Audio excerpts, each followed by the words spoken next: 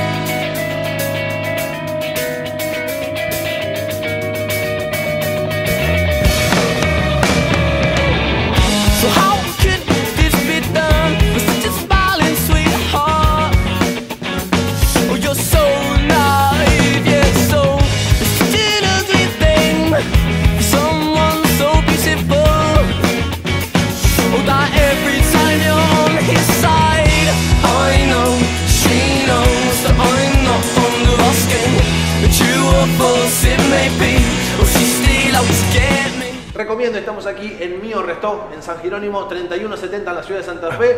Hace un, hace un par de días atrás estábamos en Ángel Gallardo eh, con los amigos del INTA, bueno, en este caso eh, para traer lo que es la producción y en este caso llevándola a la mesa. Y antes de que servir un buen plato de comida, eh, está la bebida y en este caso para hablar de eso y lo que tiene con la coctelería, acompañado de nuestro amigo de Juan. ¿Cómo anda Juan? ¿Qué tal? Muchas gracias por venir, No, chicos. por favor Juan, gracias a vos por recibirme. ¿Todo bien? Bien, siempre me encanta que vengan, aparte siempre de paso se toman algo rico. Exactamente, y, además está bueno para digo, generar el, eh, el hábito de que solamente cu- cuando uno sale a comer no solamente puede tomar un buen vino, un buen espumante, sino también una buena coctelería. Sí, de última también esto, por ahí hoy en Santa Fe está más inculcada el tema de la coctelería y la razón de hacer los cócteles. Acá traemos uno más o menos clásico, un poco reversionado para que lo puedan hacer en su casa, y otro un batido, que también quien dice, eh, si la gente se anima o algo, se puede animar a hacer un rico cóctel para marear con un rico plato. Exactamente. Y además está bueno porque, a ver, eh, cuando uno elige un, un plato de comida, eh, puede elegir también llamarte a vos o cualquiera de los chicos que están en la barra Sí. para ver con qué puedo comer ese plato de comida. Claro, porque sí. no, no todo cóctel va a No, comer no, no, no, obvio que no. Generalmente acá con los chicos de cocina siempre estamos muy comunicados a la hora de realizar una carta de temporada, eh, maridar bien unos ingredientes particulares que usan los chicos de cocina, como eh, elegimos una temática, algún color y empezamos, bueno, esto marida con esto, lo podemos llevar para este lado. Por ejemplo, si va con carne, si va con pescado, bueno, cambia mucho la diferencia y siempre tratamos de, de tratar de maridarlo, ¿no? Exactamente. Eh, esto que nos preparaste vos, eh, ¿en qué se complementa con los platos que, vamos a, a- que nos va a preparar? Uno, uno de los platos, bueno, con Ramiro habíamos elegido un color, el, como que me resalta mucho lo que es el violeta en el plato de él. Y lo quise reversionar porque, bueno, él usa repollo, cebolla colorada. Muy complicado usar eso en un cóctel, en meter dentro de una coctelera. Pero bueno, elegí por el lado del color y las flores de hibiscus tienen, si vos las infusionás o haces un estilo de té, tiene ese color violeta tan característico, al igual que la cebolla morada o, o el repollo. Así que este es un cóctel que tiene jugo de lima para que combine bien con un pescado y una infusión de hibiscus con jengibre. También por ahí después el Rama te va a comentar por qué Rama lo conectamos. Y pisco y un poquito de clara de huevo para que genere una espuma y quede bastante prolijo también el cóctel.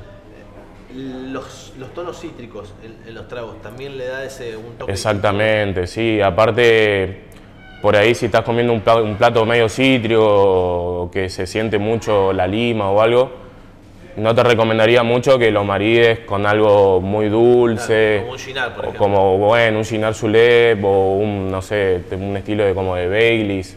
Porque te va a contrarrestar mucho, no va a entender nada. Aparte tiene que ser algo suave que te barra la boca, siempre y cuando pensar en lo que vas a comer, si va a ser un pescado graso, no graso, algo con carne, no carne. Hay que tener en cuenta varias cosas, la verdad, sí. Y est- está bueno, digo, y, y lo último que te pregunto, digo, y también lo que es un trago en el cual hay una, una presencia del hielo y en otro no tanto, ¿no? Claro, exactamente. Bueno, esa es una diferencia que la acabaste de notar. Eh, más recomendable que tenga hielo, ¿sí? porque es un plato principal, por ahí el que no... aliento, exactamente. Sí, porque te dura, aparte te alcanza para maridar bien. En el otro caso tenemos una reversión un gin tonic que tiene un sirope de ananá y ají, es picante también, que como que el picante no es que te pica la boca cuando apenas tomás, sino yo lo que busco es como un retrogusto en la garganta en el cual ese lo sentís a la mitad del cóctel, ponele, no es que... Entonces como que vas maridando ahí con un poquito de pimienta, de, de picante, jugando ahí con los contrarrestantes del plato. Cosas divertidas van a pasar. Exactamente. Eh, Juan, gracias por estos minutos y vamos a probar esto. Y para que, nada, que venga la gente que se anime. Se animen, siempre hay que animarse. que tiene eh, alguna barrera, que tal vez no lo hagan en el plato, pero que lo hagan en un postre, Sí, que lo haga de, de siempre. aperitivo, digo. eh, Claro, eso es lo que buscamos cada vez que vienen acá Míos Sabores, justamente el nombre te lo dice, característico de venir a probar sabores que lo conseguís solamente por acá. Gracias Juan por el No, tiempo. muchas gracias a Eh, ustedes. Así que una invitación para que vengan a Amigos Sabores. Ahora nos vamos a sentar a probar, a deleitar lo que son algunas de las sugerencias, algunos de los sabores distintos, hasta casi casi explosivos que pueden probar aquí en Mío. Lo recomiendo.